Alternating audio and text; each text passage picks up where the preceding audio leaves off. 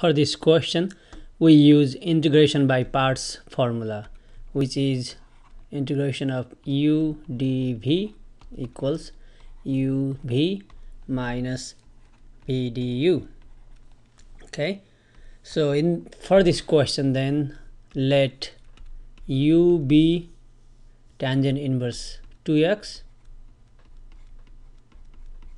and this u part and dv is just dx. Okay. Then we find du over dx but we write dx over there as a differential. A derivative of tangent inverse of a function. Let me write over here.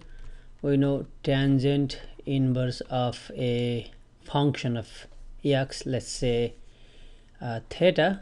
And if we want to find the derivative with respect to x then this will be 1 over 1 plus whatever we have here that is square times derivative of theta okay theta prime.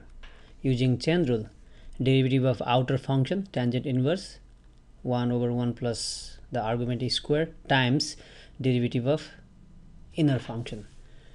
Okay using that derivative rule we get 1 over 1 plus 2x quantity square which is 4x square times derivative of 2x which is 2 and dx. Uh, let me rewrite in this way. 2 goes on the top over 1 plus 4x square dx. That's du part. And we have dv equals dx so v equals integrate both sides with respect to x. So just integrate we get v equals x okay. Now using this rule integration by parts we have now u dv. So that integral let's say this i integral equals u u times v. Look at this formula u times v.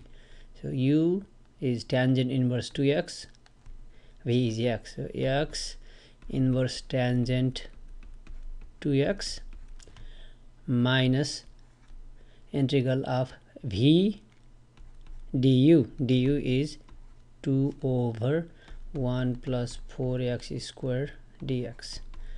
Uh, we need to work on this integral. This part is done. X tangent inverse 2x minus.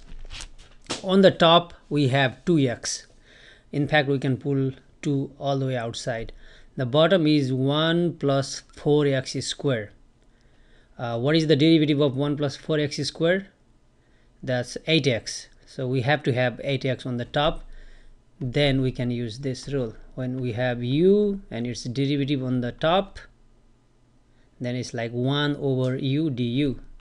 And integral of 1 over u is natural log of absolute u. Okay so to make compatible with this rule. Uh, let uh, so I need so 1 plus 4x square on the bottom. Derivative is 8x so let me write we have x. That's why we can make it. About the number we can always multiply and divide by that number. Okay. Since we have x on the top we can write 8x okay. But we only had 2x so 8x if we divide by 4 1 fourth on the front then 4 goes 8 twice into there. So we can manage in that way. So we have exactly in this form the derivative of 1 plus 4x square is 8x okay and in terms of x dx. Then we can write the final answer in the next line x tangent inverse 2x minus 1 fourth. Since the top is derivative of bottom the integral is natural log of bottom absolute value of bottom. But 1 plus 4x square is always positive. X square positive always times 4 is always positive plus 1 so we don't have we don't need absolute value. We can just write 1 plus 4x square okay and plus c integration constant final answer